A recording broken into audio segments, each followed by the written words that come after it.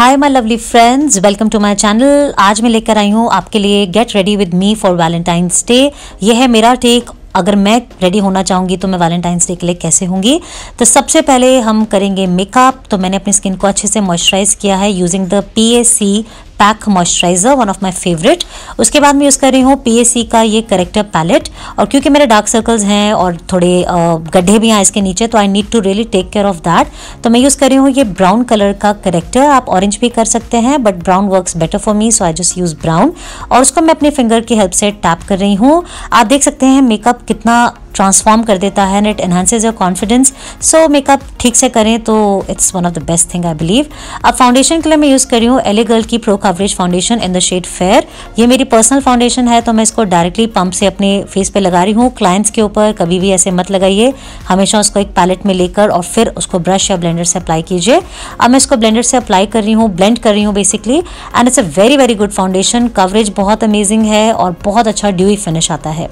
अब मैं यूज़ कर रही हूँ पैक का टेक कवर कंसीलर जो कि मेरे स्किन टोन से मिलता जुलता है rather half to one shade dark है। ये मैं क्यों कर रही हूँ? क्योंकि मुझे अभी भी थोड़ी डार्कनेस दिख रही है अपनी अंडर आई एरिया में। तो उसको और कैंसिल आउट करने के लिए और ब्राइटन अप करने के लिए मैं एक डार्क कंसीलर को मिक्स करती हूँ लाइट कंसीलर से। तो हाईलाइटिंग और थोड़ी सी करेक्टिंग मैंने यहाँ पे दोबारा से की है। और जो हाईलाइटिंग के लिए मैंने कंसीलर यूज़ किया था, वो मेरे स्किन शेड से दो शेड्स लाइट है। और करेक्टिंग करने के लिए जो मैंने यूज़ किया था, वो मेरे स्किन टोन से मिलता जुलता है उससे एक शेड डार्क था। अब मैं यूज़ कर रही हूँ लूज पाउडर जो कि है फॉर टू का। और अभी मैं थोड़ा सा एक्सेस पाउडर अप्लाई तो कर रही हूँ, पर मैं इसको छोड़ूँगी नहीं, इसको ज़्यादा बेक नहीं होने दूँगी। मैं इसको इमीडिएटली फेस से रिमूव कर दूँगी। और मेकअप जो है ना गाइज़ एक प्रोसेस है। थोड़ा डरावना, थोड़ा खतरनाक लगता है, लेकिन डरिए मत। ट्रस्ट द प्रोसेस जो आपका एंड रिज़ल्ट होगा, वो बहुत सुंदर आएगा। मेकअप को सेट होने में टाइम लगता है ब्लेंडिंग अच्छे से होनी चाहिए टेक्निक्स आपकी अगर ठीक हैं तो आपका रिज़ल्ट बहुत अमेजिंग आएगा। अब हम करेंगे ब्लश अप्लाई और उसके लिए भी मैं पीएससी का ही ये ब्लश पैलेट यूज़ करी हूँ। एंड माइंड यू ये ब्लश जो है, बहुत ज़्यादा पिगमेंटेड है। मैंने रियलाइज़ नहीं करा था, ये काफ़ी डार्क हो गए, मैं क्या लग रही हूँ, आप देख सकते हो बट डोंट वरी अगर आपका ब्लश कभी ऐसा इंटेंस हो जाए तो एक पाउडर पफ लीजिए, उसमें थोड़ा सा ट्रांसलूसेंट पाउडर लीजिए और उसको थोड़ा सा डैप कर लीजिए। अब मैं अपने मेकअप को फिक्स करूँगी मेकअप रेवोल्यूशन के ये फिक्स मेकअप फिक्सर से। ब्लश अभी भी मेरा इंटेंस लग रहा है, बिल्कुल चिंता मत करो ब्लश भी फेड होता ही है। आप अभी देखना ऑटोमेटिकली मेरा ये ब्लश एकदम फेड हो जाएगा और नेचुरल लगने लगेगा तो मैं हमेशा थोड़ा एक्सेस ब्लश लगाती हूँ। खुद पे भी और क्लाइंट्स पे भी, और ये चीज़ मैं अपने क्लाइंट्स को हमेशा बताती हूँ। अब मैंने करा हाइलाइटिंग जो कि मैंने पैक की ही सेम पैलेट से यूज़ किया। एंड बहुत अच्छा ग्लो भी आया फेस पे। Now I am taking this amazing eye shadow palette from P इसका मुझे नाम नहीं याद आ रहा। मैं सारे लिंक्स डिस्क्रिप्शन बॉक्स में डाल दूँगी। मोस्ट ऑफ़ द प्रोडक्ट्स मैंने अमेजोन से ही लिए हैं।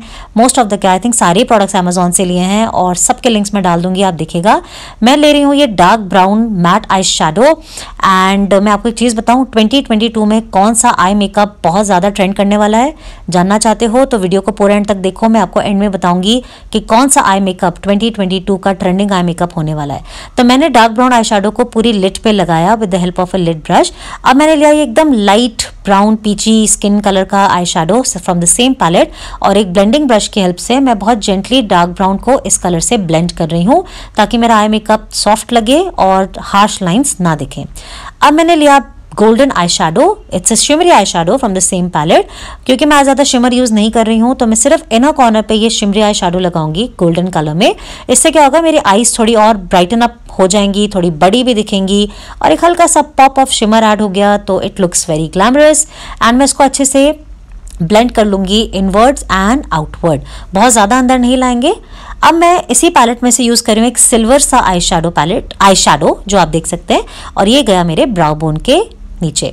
Now I take these eyelashes these are कलाइलिस eyelashes also got from Amazon ये मेरी बहुत अमेजिंग फाइंड थी अमेजोन से for eyelashes these a beautiful eyelashes एकदम नेचुरल सी हैं लाइट लगती हैं, बहुत अच्छी लगती हैं। और मैंने एक पूरी वीडियो बनाई थी गाइज़ आई लैशेज पे। डिज़ाइंस एप्लीकेशन टेक्निक सब पे तो ज़रूर देखना वीडियो अब मैंने लिया same dark brown eye shadow और उसको लोअर लैश पे अप्लाई किया और काजल अप्लाई किया। इससे मेरी आईज और बड़ी और बहुत खूबसूरत लगेंगी।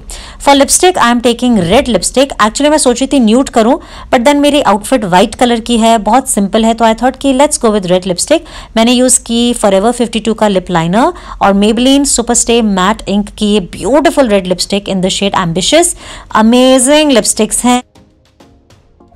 गाइस 2022 का ट्रेंडिंग मेकअप लुक है मैट आईज और ये है मेरा फिनिश लुक गाइस मैंने अपने हेयर को स्टाइल किया इन विंटेज कर्ल्स और एक खूबसूरत सा हेयर एक्सेसरी भी लगाया.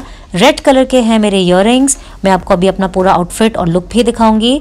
और ये है मेरा take on how will I get ready for my Valentine day and this is my full look on the screen you can see it on the right side white dress is also from Amazon This amazing bag is also from Amazon. My white heels are also from Amazon and a lot of products also from Amazon. Don't forget to use the amazing Valentine Day sales that are going on Amazon. इतने सारे products मैंने Amazon से लिए हैं use किए हैं आपको कैसा लगा ये look comments में ज़रूर बताना See you guys super soon with lot of more fun and interesting videos. Till then take care. Bye bye.